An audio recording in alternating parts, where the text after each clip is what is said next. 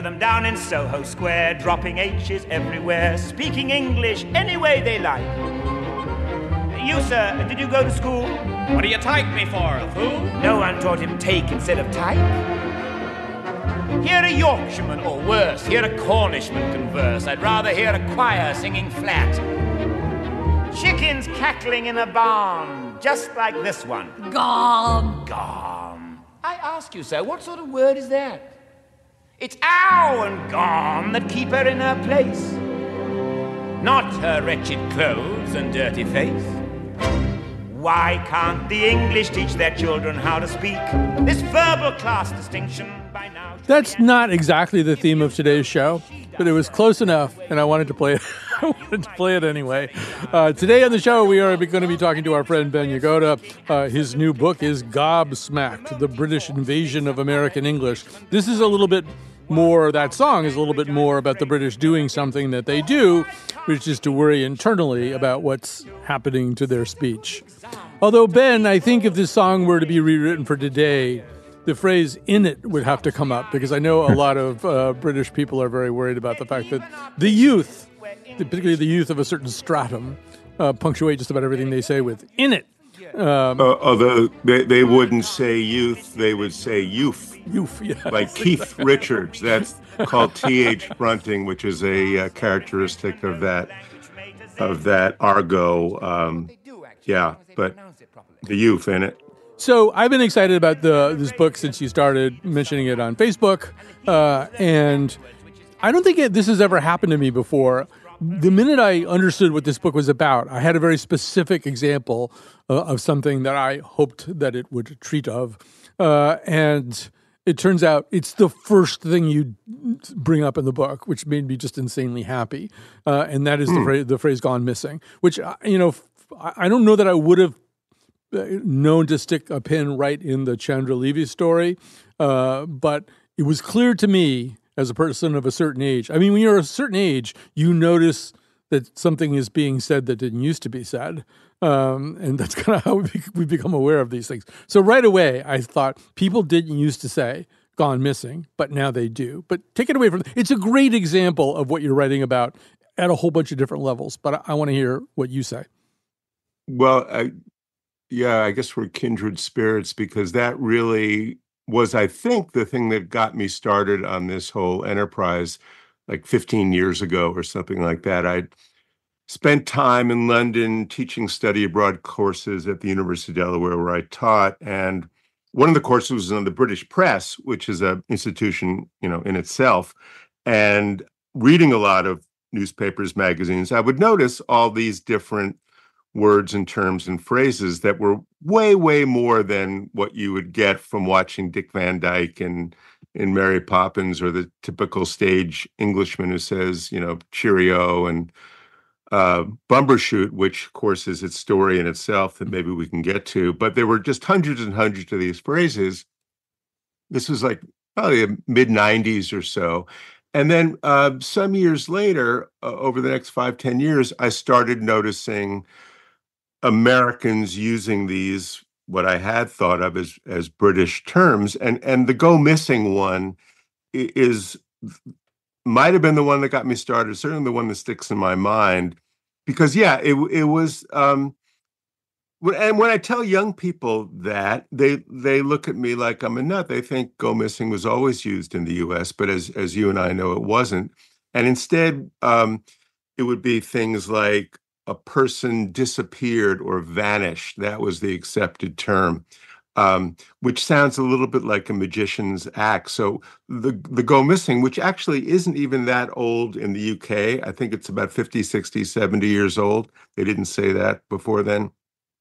Started to be used. And nowadays, there's all sorts of tools you can use to search for uh, words and phrases historically, whether it's the New York Times, archive or Google Books or Google Ngram Viewer and, and other resources as well. And I kind of pinpointed it to this big, big news story in 2001 of a congressional intern, Chandra Levy, who had disappeared, vanished, and then uh, writers started to say that she went missing. And it seems like it picked up from there. And a lot of these words and phrases are successful in a kind of Darwinian reason because they're they're useful. They serve a purpose that wasn't being served before. So arguably go missing is better than vanished and disappeared. But in any case, it's here now for sure. Absolutely. And uh, I thought, I mean, you're such a good detective, Ben, that you found, I think, probably the American reporter who first used it, used it uh, in, in relation to the uh, Levy case. And it turned out she did have kind of a, a British uh, connection or a Scottish connection or something. There was, there was like a reason that she might have been doing that. Yeah, she had she wrote me, and I think her name is Helen is Helen Kennedy, and she wrote me that you know she had spent a lot of her time as as as a youth in in the UK, and she was kind of gobsmacked to to, to learn that it hadn't been used here. The phrase "go missing" before that that's one of the you know, so I started a blog um, called Not One Off Britishisms, One Off being another example in 2011. And just hearing from people, the comments, the emails. Uh, it's you know people say uh, don't read the comments. in my case, and in your case as well, Colin, I have to say that you put a thing on Facebook about this interview, and uh, people started giving all these you know, brilliant to use another Britishism that I think one of them mentioned examples. So uh, the community of people who are interested in this this kind of um, issues in language and uh, is is is is is a community that I've enjoyed for sure. Yeah, this book is so much fun too. I mean, I could probably have a conversation with you about every page of this book. There's like so, everything in it is interesting to a certain kind of person, and I, am one of those persons. But I mean, it also yeah, resolves. I'm here. I have nothing to do. but it also resolves all kinds of things. I mean, there's actually a debate in uh, in my family. Uh, Beth Curry will be very happy to read the pages in your book about the word often um, um, mm. because she's very upset about people who say often, uh, and I think I might even be one of those people. So, and that brings up. Let's just mention that whole section of the book, which is really fascinating. The the Britishisms which which are in use are fascinating, but there's a um, a whole segment of the book about kind of faux Britishisms, attempts to sound kind of British or something along those lines. And one of the people you single out is a person who I always regard as kind of nearly flawless about things like Uh-oh. this and and brilliant uh, in all the senses of the word brilliant. Let's hear hear the let's hear him though, uh, Maestro. This is a one. I know I'm not the only one who may be more than a little dismayed about what's happening on the campaign trail right now. The divisive and often vulgar rhetoric that's aimed at everybody, but often is focused on the vulnerable or women or minorities. That, of course, is the comedian Jackie Mason. No, it's not. Yeah. It's Barack Obama, and and he does this divisive thing, which I know drives you nuts. Well, that's fair. It it, it does um, does rather.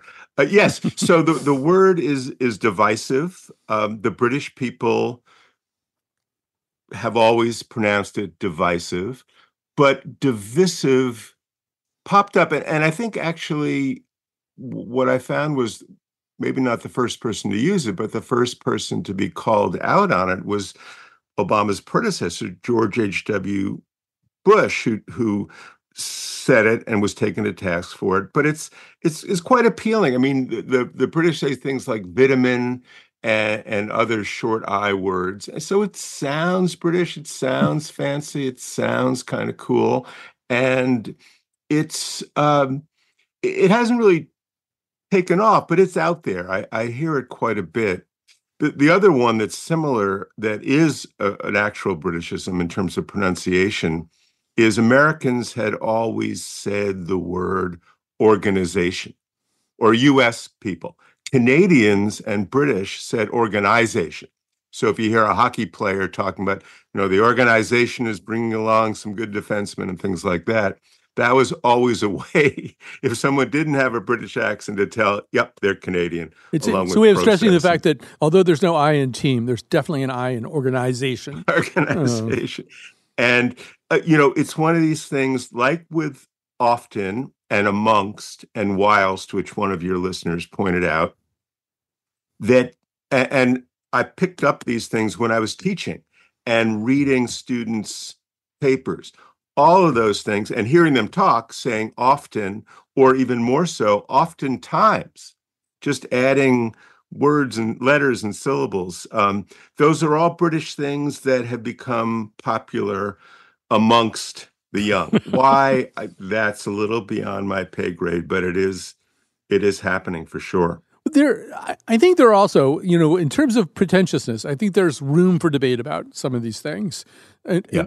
For example, the term bespoke. Uh, I know mm. that you think that might have a little slightly pretentious lean to it, but say a little bit more about how you see it. You know, I, I I'm I'm not sure I feel that way, but um, yeah. So bespoke is a word that came, I think, originally from shoemaking back in the 17 or 1800s, and it developed a uh, a meaning in, into the 20th century in Britain for a custom made shoe or garment. And there was a, a movie that I saw in high school based on uh, Gogol's, the Russian writer short story, The Overcoat, and it was called The Bespoke Overcoat. it was a, a, a, British film from the 50s, 1950s, I think it was. Then it, it you know, it's not so much pretentious as it became a vogue word and has become a vogue word.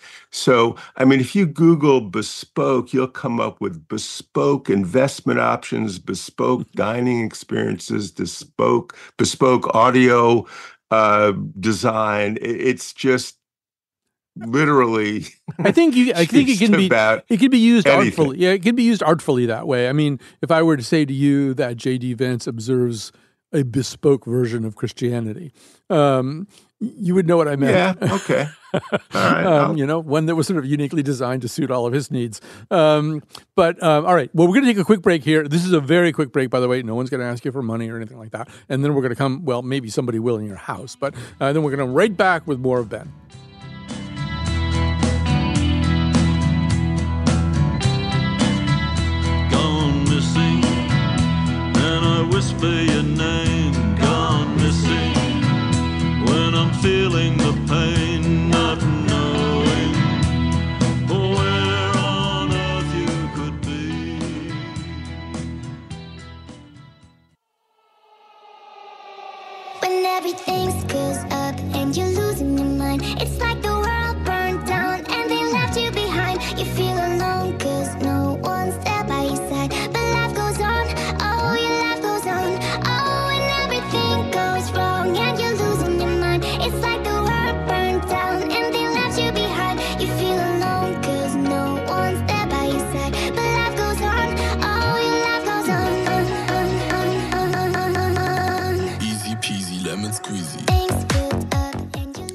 All right, uh, with us is Ben Yagoda. His book is Gobsmacked, The British Invasion uh, of American English.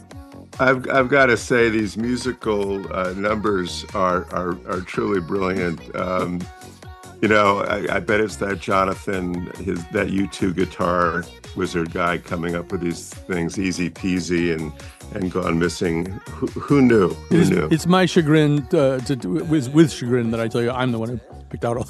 well, w- well done, you. Yes, uh, this is what I do with my mornings. Ben Yagoda, by the way, author, co-author, editor of 14 books, the host of the podcast, The Lives They're Living.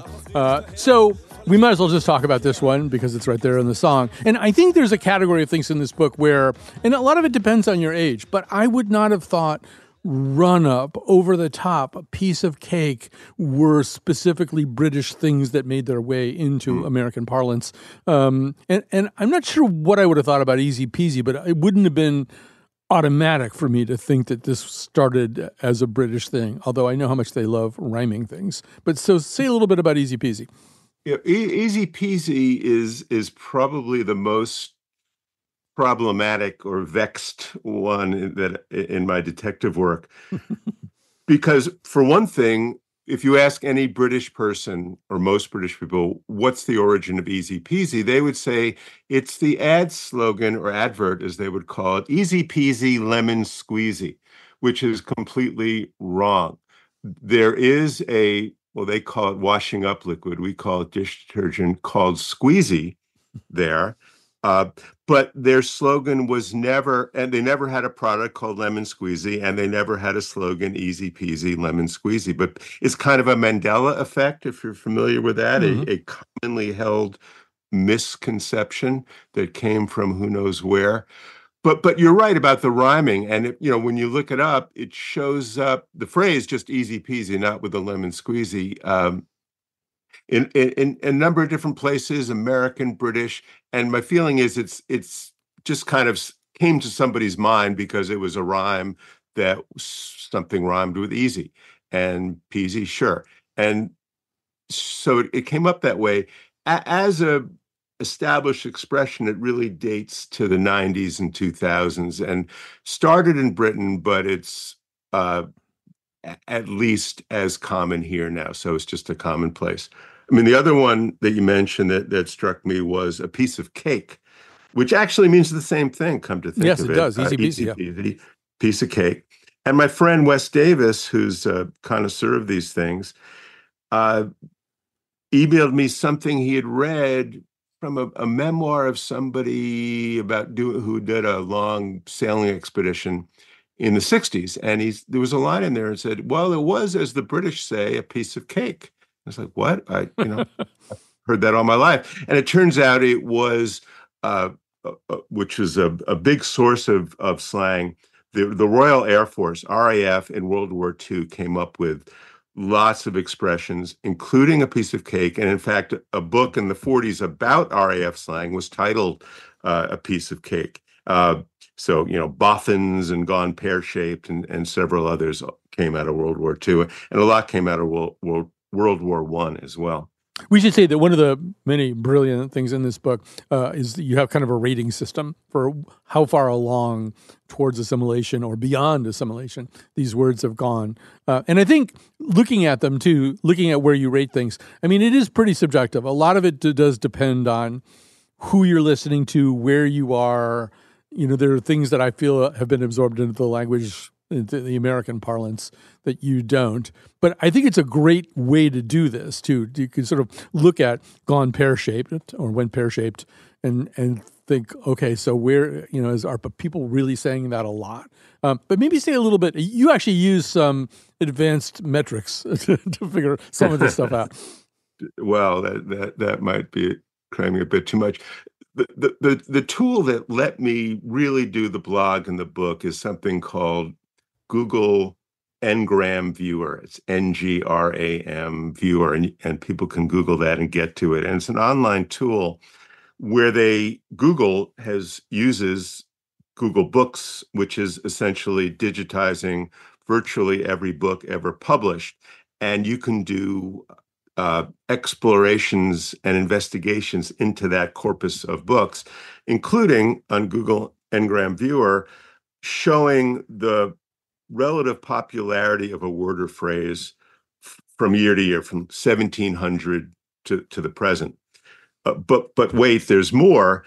You can compare its use in British books versus American books. So you're right, Colin, that that measure, which by the way, in the first draft it was called penetration, but it was considered that might be uh, make the book R-rated or something, so it changed to adoption.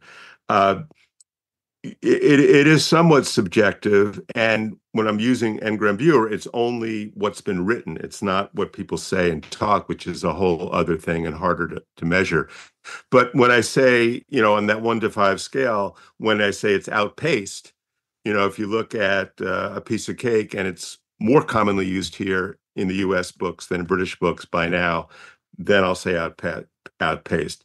Um, otherwise, yeah, it, it is it's subjective is kind of based on the evidence I've seen in my own impression. Like you say, it is it is sort of a sweet spot for me, the pseudoscientific. I mean, a lot of it depends on the source of exposure. We uh, all based on often our age and what we were consuming in terms of culture. Uh, I mean, for example, I have no no problem understanding what the word peckish means uh, to the British hmm. because of Monty Python. Um, and I think, as you point out in the book, it's I think they've used it more than once. But one of them is about an undertaker who has several different options. But one the the, the last one is that you eat your beloved deceased person. Uh, and John Cleese, when this is brought up, he said, "You know, I do feel a little bit peckish." Uh, and, um, but I mean, well, yeah, and it, it's. I'm glad you brought it up because the, the question of where these words and phrases come from. Monty Python is one thing. Harry Potter books, the BBC. Jonathan was saying that he watches YouTube videos of about guitars and movies and music criticism, many of which, for some reason, are British people and picks up language from there. Kids TV like Peppa Pig and Thomas the Tank Engine, um, Harry Potter books, I might have mentioned. Uh, British journos, which is their term for journalists that have come over here to the U.S., whether it was Tina Brown or Christopher Hitchens or Andrew Sullivan.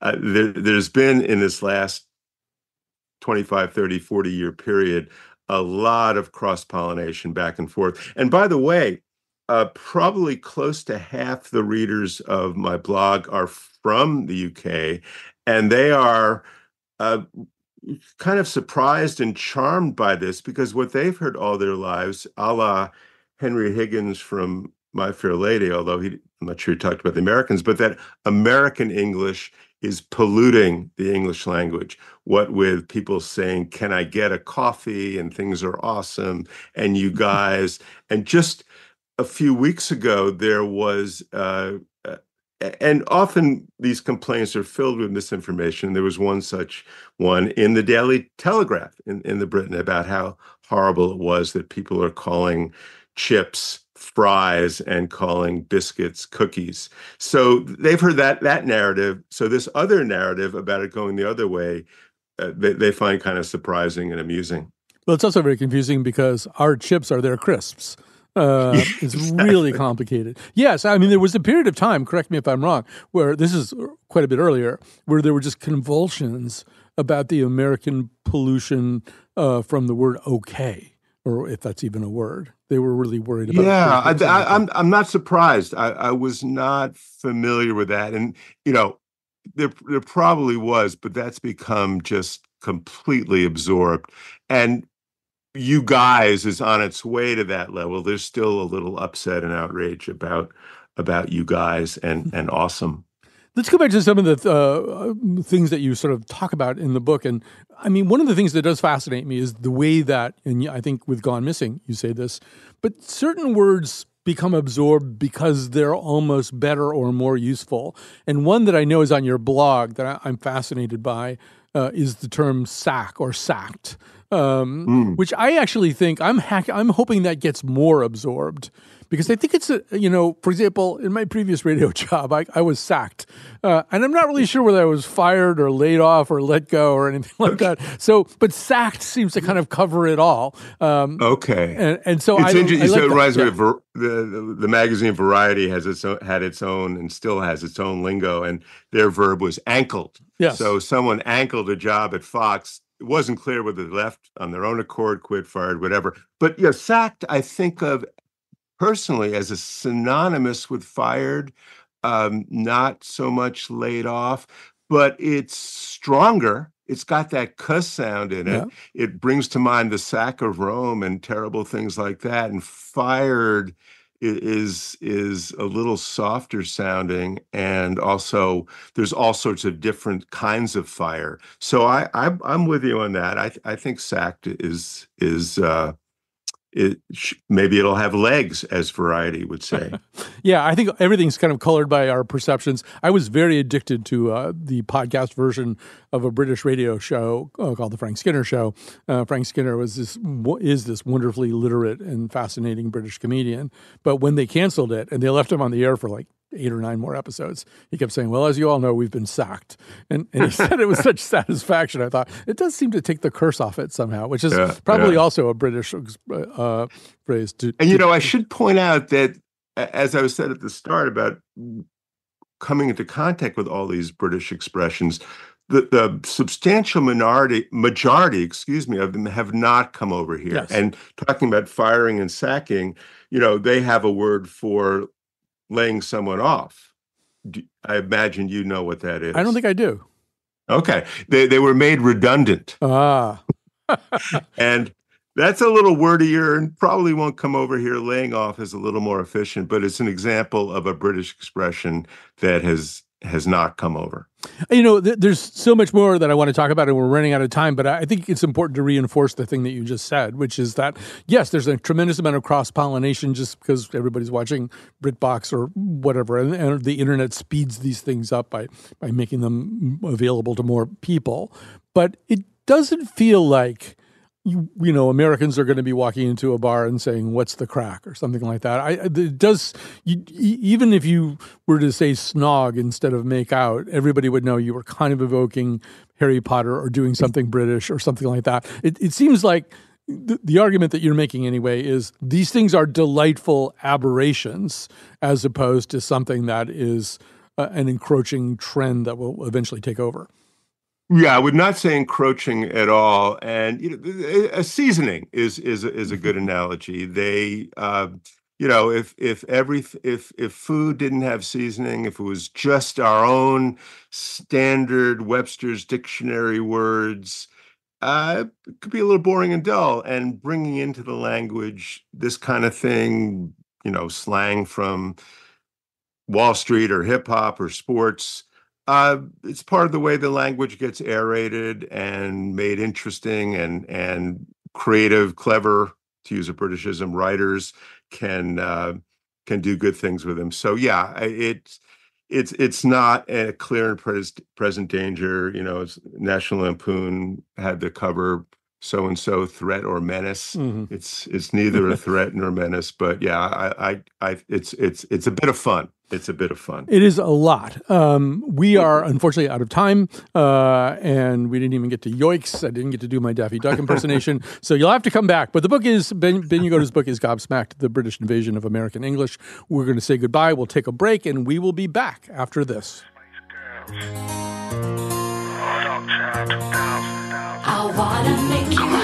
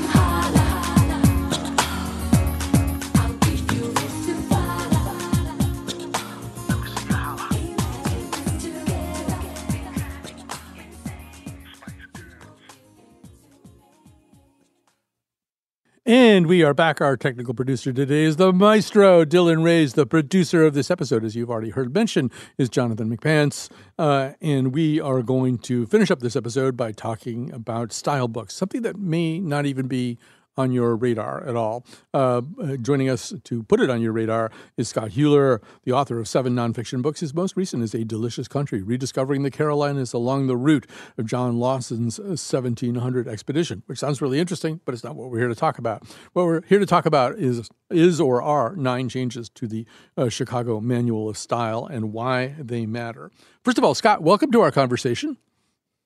Thanks for having me. I'm glad to be here. And I think we have to begin by talking about what a style book or a style guide or a manual of style. It's all the same thing, more or less. But explain what it is for people who, who've never lived uh, under the iron fist of one of them. Right. Well, it's um, the first thing I would do is push back against iron fist. I think a, uh, a style guide is a it's the operations manual it's the operations manual. If you think of writing prose being like driving a race car, uh, the style book is the, the the style guide is the book that explains to you how the engine works, how the steering connections work, what uh, different what happens if you lift up weight on the right rear, things like that. The style a style guide, the first thing that you need to to think about if you're not familiar with them is we're not talking about Strunk and White style style. We're not talking about um, omit needless words or you know try to punch up your sentence. We're not talking Orwell style. Find the right word. Those are all valuable things, and you should be doing them as a writer. But uh, uh, a style manual is meant less for writers than for copy editors, than for people who are trying to enforce a system of organization onto a piece of writing, if that makes sense. Do we use the serial comma? Do we capitalize uh, the first letter of a complete sentence after a colon? Uh, how do we alphabetize if we're using the abbreviation for the word saint? Is that ST or do we assume that's SA? Tiny little things like that. Copy editors, proofreaders are aware of them and each publication has its own style guide. Uh, most newspapers will use the Associated Press style guide. Uh, most book publishers and magazine publishers will use the Chicago Manual of Style, which uh, started, I think it was first published eh, from the University of Chicago Press in 1906. Does that give you a good background on what a style guide is? That's a good background. I would say Scott, you make it sound also civilized, and having spent quite a bit of my life in newspaper newsrooms, uh, I mean, the Scott style book also exists for all of the reasons that you just described, but it's probably at its most useful when a reporter and a copy editor are screaming back and forth at each other about what the past tense of plead is. Is it pleaded or is it pled? And and there's an answer. I mean, I think the virtue of a style book is at a certain point you get out the style book and there's an answer, and that's the end of the conversation. Um, or at least it should be even if you don't agree with it, um, you know, in some kind of more universal way. um, I could not agree more. I yeah. think you've hit it right on the head. That's exactly right. It's for this publication on this date in this place. This is the rule. We can argue about it over beers after you know after the publication hits the press, but this is what we're going to do. Now let's move forward. It answers questions. Which is not to say that they are not frequently insane. I can't remember which style book it was, but well, some style book I lived under um, uh, had um, kid, kidnapped. The word kidnapped had only one P in it. So it looked like it was kidnapped. In fact, around the newsroom, we started saying kidnapped because that clearly was the way we were going to spell it. I mean, that just strikes me as mind-bogglingly crazy. But it was it was the style of the paper, and so not, that's what you go. If I'm not mistaken, that was the correct spelling of kidnapped for years. Yeah. I think that we've changed recently. I think that was for a long time the correct uh, spelling of kidnapped. But to find that out, we would have to go to the Merriam-Webster and, and go back historically and figure out when did that change? Did it mm-hmm. change? And people who want to know the answers to such things love doing that. Right. And we should also point out that most newspapers have an official dictionary. It's not always the same one, too. Uh, we had Webster's New World, and that's where, you, if it wasn't in the style book, then you looked it up there. Um, I will also say there's only one instance that I know of of a style book being actually funny, and that was the United Press International style book uh, when it was edited by somebody named Bobby Ray Miller. And he had the two words burro, B U R R O, and B U R R O W. And then he wrote, A burro is an ass. A burrow is a hole in the ground.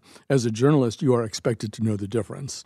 Um, wow, that's excellent. I'm very glad to hear that. I never ran across that before. Now, and I will say, uh, the Chicago Manual of Style can be rather uh, self-deprecatingly clever when it's talking about one of the questions that you'll think about if you're designing if you're laying out a book and you would refer to a style manual all the time when doing that is whether uh, you have an if you're going to have a pull quote uh, and it might have a drop cap, right? A great big cap at the beginning of the quote or at the beginning of a chapter or something like that. They call that a drop cap. Well, a lot of times, if that's a quote, you're not going to put an open quote in front of that because it looks strange.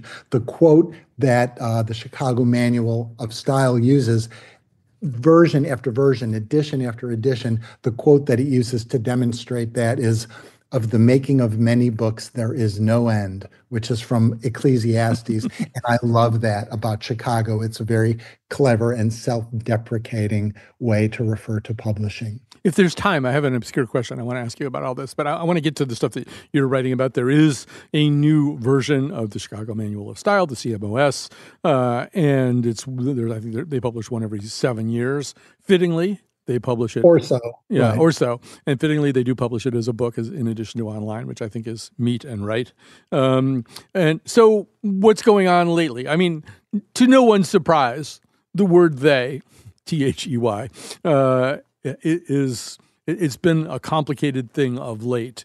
And so chicago has made some new decisions about it. Say what they are. Right. Well um, in the previous edition chicago very hesitantly was willing to accept uh, the the word they as a singular pronoun for somebody who didn't want to you know acknowledge a particular gender. And they were they really urged you to write around it. At this point chicago has finally said sort of they is just there and let's let's live with it. And uh, which i think is fine. One of the interesting things you find in these discussions is people will will drive a stake in the ground based on what their third grade teacher taught them mm. about they as a pronoun.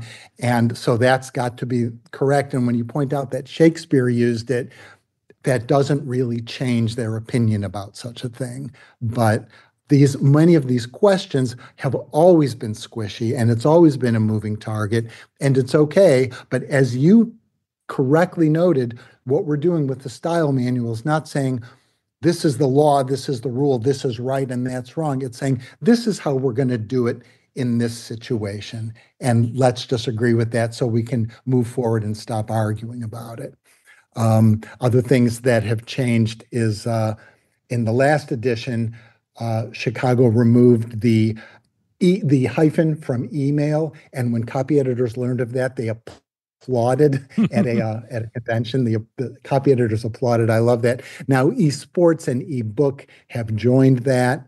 Um, there are certain if you think about words much you may notice that sometimes you'll have uh, an ill-advised thought and if that that uh, hyphenated adjective is uh, before the noun whereas if you say your thought is ill-advised it used to be ill and advised were not connected by hyphen. Well, ill advised is one of a few specific uh, connected ad, uh, adjectives that Chicago now says we're going to keep the hyphen even after the noun.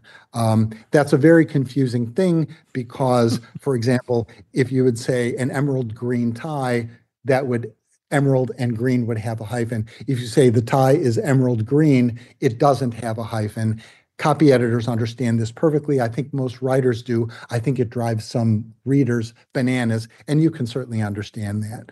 Um, Chicago has changed its rules about uh, when you're going to capitalize a word in a headline. Prepositions of five or more letters are now capitalized. So, yeah, uh, that's a really interesting one. I'll give an example of this. So, years and years and years ago, I published a book called Lose Weight Through Great Sex with Celebrities.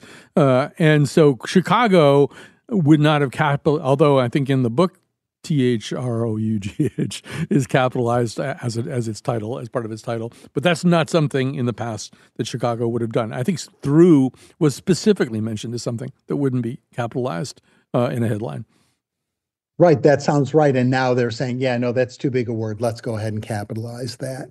And uh, so, like uh, the example I used in a, in a recent story, I said words into type that's a, a, famous other style guide. Into would be lowercase, but much ado about nothing. About would have an uppercase A. You know, this here's so, the question that I was going to ask you, and you might not know the answer to this, and it also could be a complete figment of my imagination. But I had this idea that years and years and years ago, the Chicago Style Manual had this odd approach to words like through, like O U G H words, like the GH was off of them or something. Does that resonate at all with you? Is that even possible? It does not okay. resonate with me. And I would say it sounds unlikely given that Chicago comes from the University of Chicago Press. True. It is a University Press style manual and has University Press rectitude in its DNA. So um, that sounds like something uh, dropping words, uh, dropping letters from a word like that, especially in headline style. That sounds like something that newspapers would get up to back in the days of print when they were so Yeah. deeply concerned about space that they decided you could do without the serial comma. So I know you, like me, think that uh, it is important that this be published in book form, even if an awful lot of copy desks and, and other users are going to just quickly look things up and, and search them uh, online. Explain why it's important that it exists, as many style manuals do, in book form.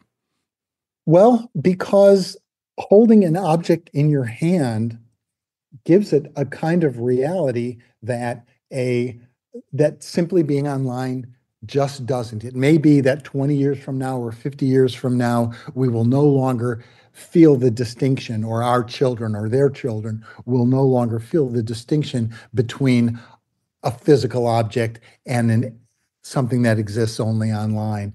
I feel the difference, and I know now. You know, I started out when we edited copy with actual blue pencils on actual pieces of paper. So physical reality of editing has great meaning to me, but you would have a little row of reference books on your desk and you every copy editor. There wasn't one for the copy room. There was i worked in a little room with five copy editors. There were five copies of chicago and five copies of the merriam-webster new collegiate and you know five copies of other style manuals because you just needed that. The second you needed it you pulled it you opened it up you looked at it you put it back and you could put post-it notes in there and you could underline things and you could dog your pages and it you turned it into your personal style manual and especially if you were working somewhere where everybody i don't care whether you use ap